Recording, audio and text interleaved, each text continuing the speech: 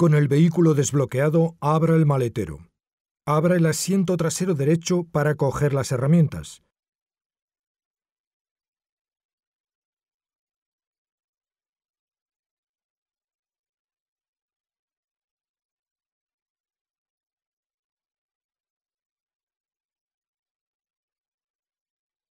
Retire el obturador y quite el tornillo correspondiente.